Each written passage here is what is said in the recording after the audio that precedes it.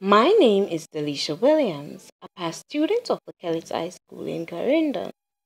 I am currently enrolled at the College of Agriculture, Science and Education CASE, where I am pursuing a Bachelor of Science degree in Agriculture Education. I am 21 years old. My hobbies include reading, socializing, and taking pictures.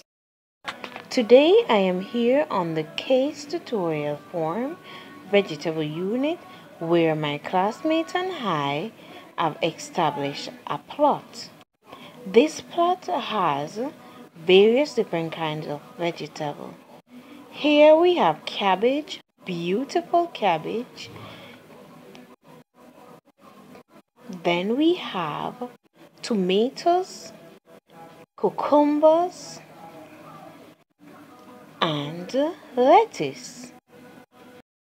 As a fourth year student, I was given the task to develop iceberg lettuce from seed to maturity, where I sow the seeds, wait for them to germinate, and transplant them after land preparation.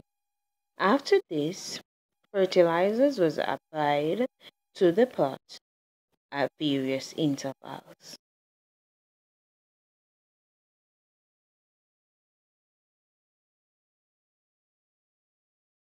Images of the iceberg lettuce from seed to maturity.